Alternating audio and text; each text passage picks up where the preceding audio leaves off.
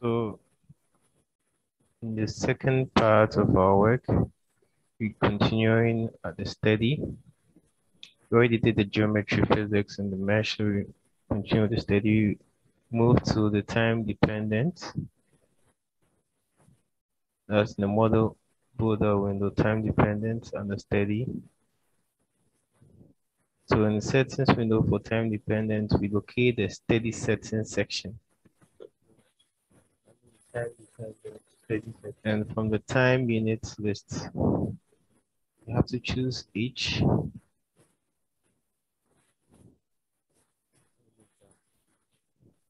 have to choose each. And in the times text field, you type the range from 0, 1, and 24 times 3.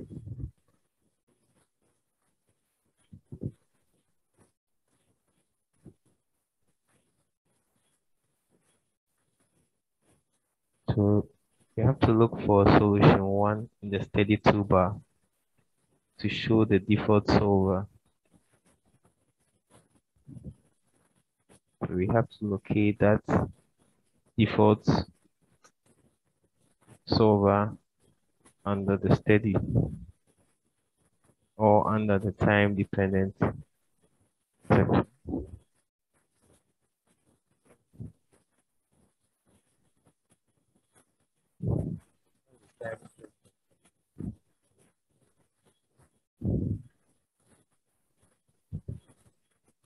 So how we find is, is by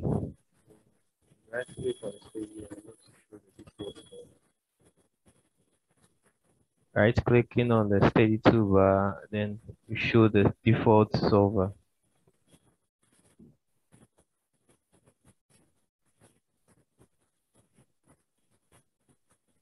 So we're going to right click on the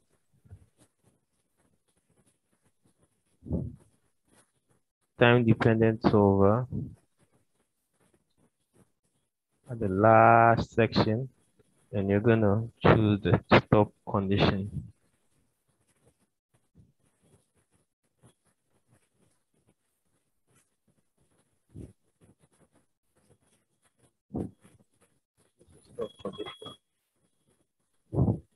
You're going to add a stop condition.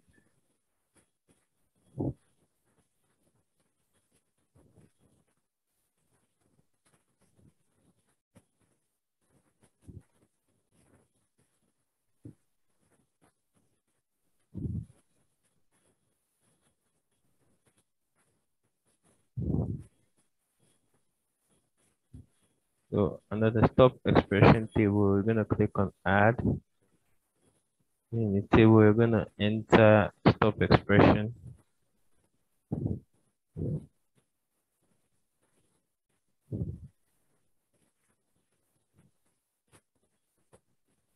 We are going to input this stop expression in here.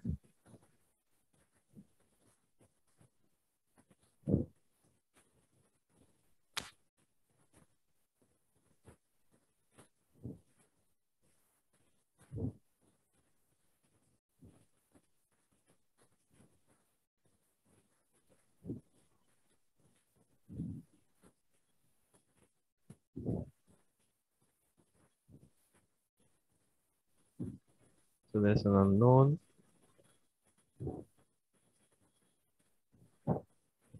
Variable is because we didn't type it wrong. So we're typing it wrong again and now everything is correct, correctly done. Now we locate the output as stop and I'm gonna choose steps before at the add solution steps before and after stop. We're gonna clear the warning checkbox. So the model is now ready to be solved. So we click compute to take some few minutes to solve.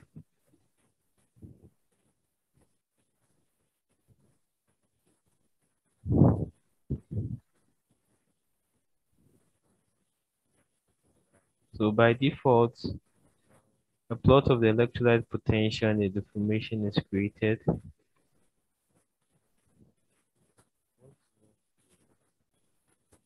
So we want to change the frame of the data edges to geometry to show the outline of the original, that's the undeformed geometry in the figure.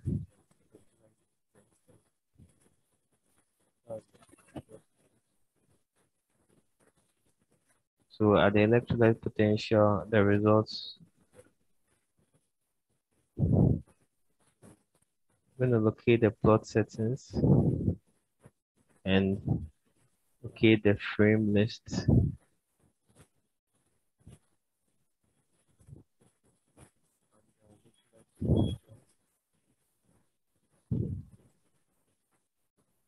You're going to choose geometry from the frame list.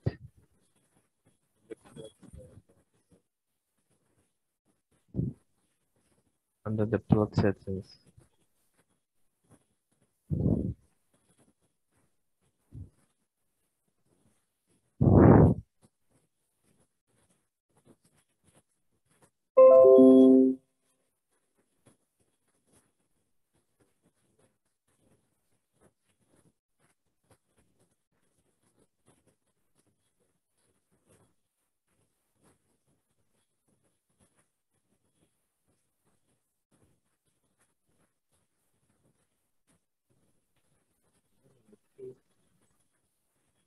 Gonna locate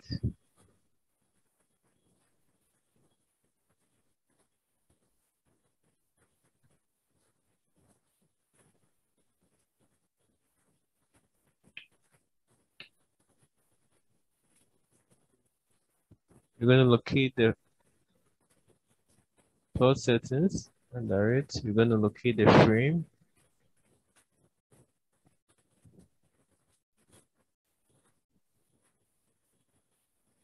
To choose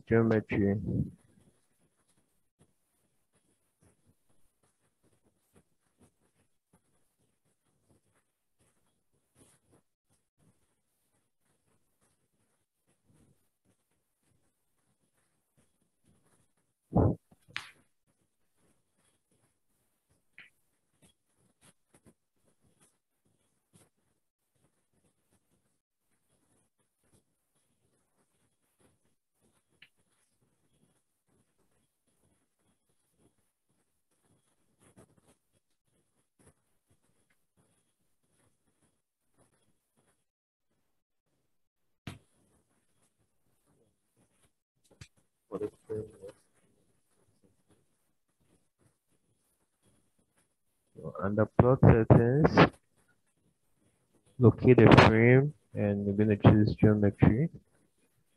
So you're able to see the undeformed, the deformed. Click plot. we're going to see the deformed and non-deformed region.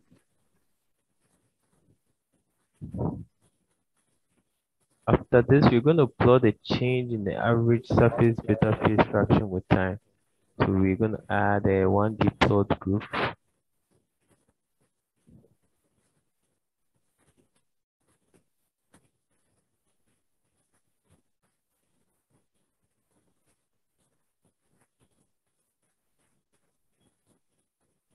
We play around to see how it looks like.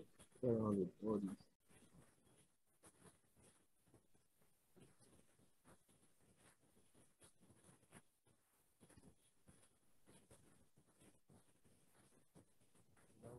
We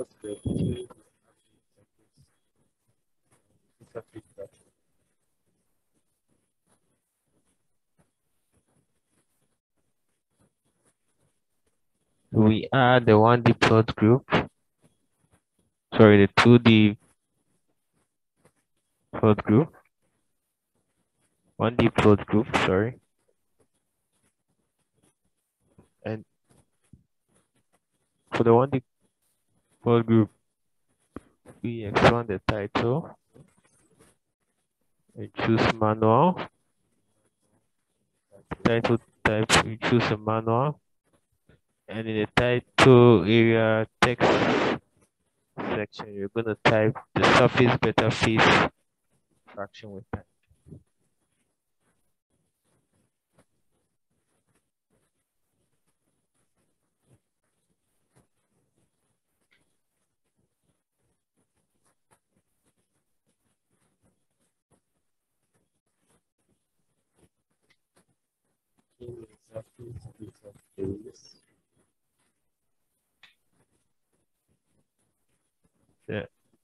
Change in surface beta fraction, phase fraction with time.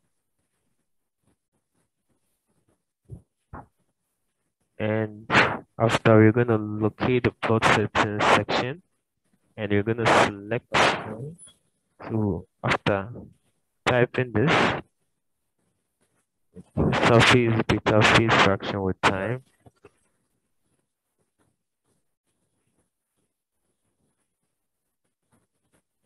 We're going to locate.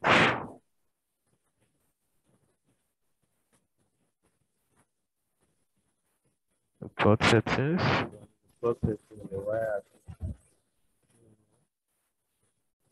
And select the y-axis checkbox you're going to type the surface beta phase fraction in there.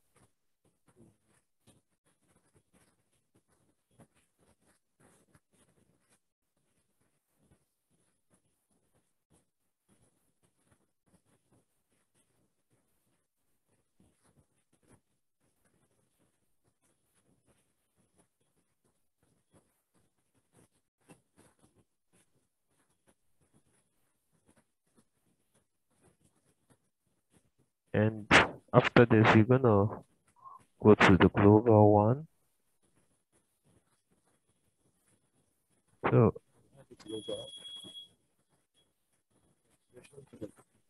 okay.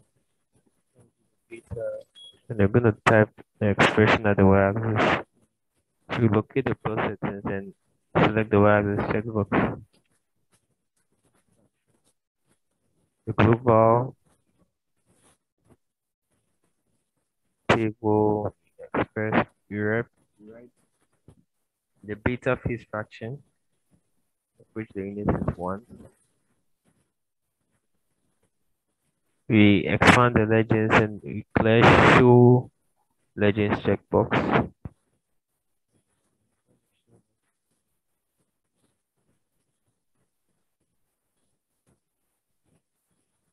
Now we rename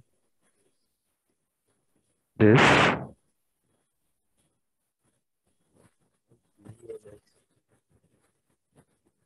And in the dialog box type the surface beta phase fraction evolution.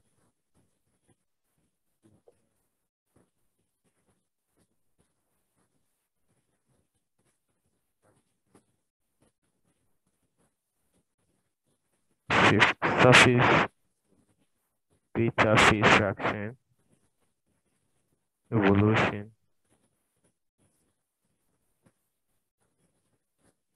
click on OK. So now we finally plot the change in the average anode current density with time.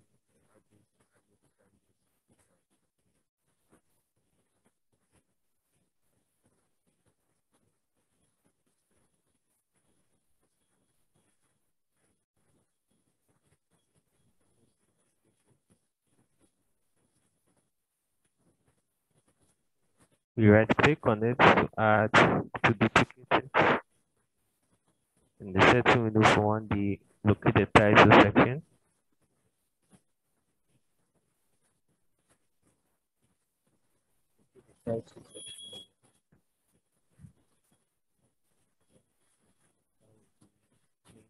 In the title section, we choose the change in average anode current density with time.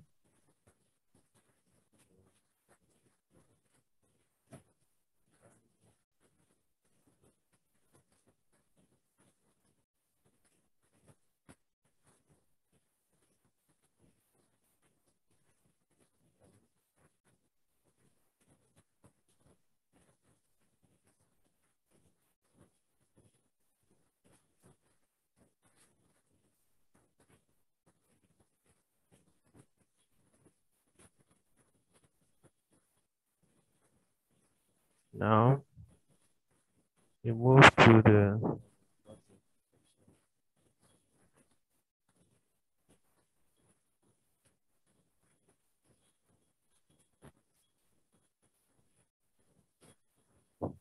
so now move to the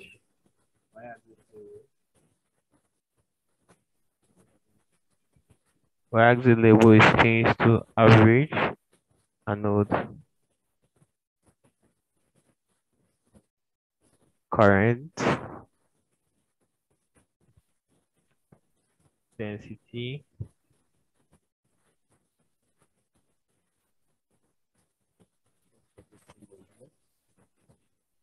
A slash M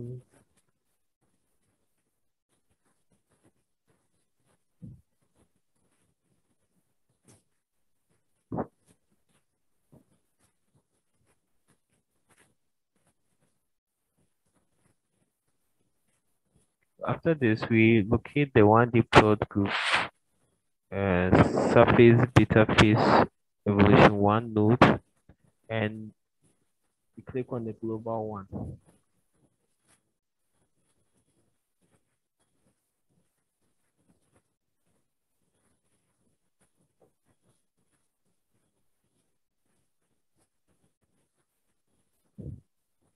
And in the table, we're going to enter the following, that's I alpha,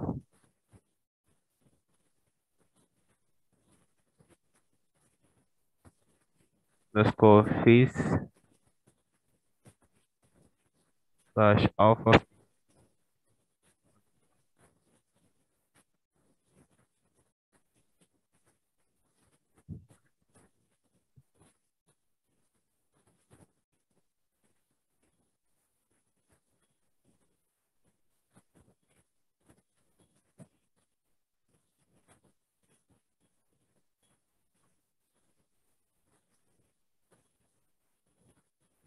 So we have this.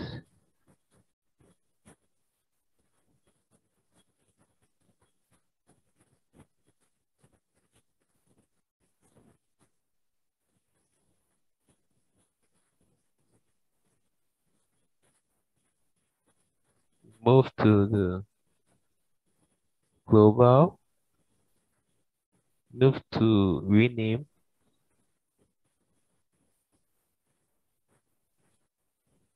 And in the rename, we're going to type average anode current density evolution. Average anode current density evolution.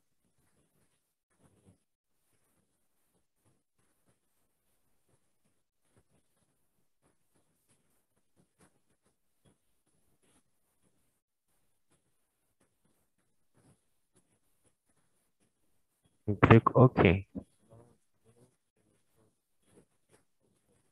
So finally, that brings us to, so that gives us all the plots that we need, the average anode current evolution, and the surface beta phase fraction evolution, and we have the electrolyte current density, we have the electrolyte potential, we have the electrode potential versus we have the cross-sectional microstructure. So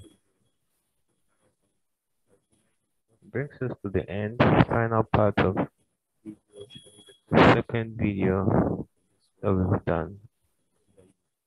So as I said earlier, if you've not watched the first part, kindly watch the first one before you'll be able to understand the second part. We started from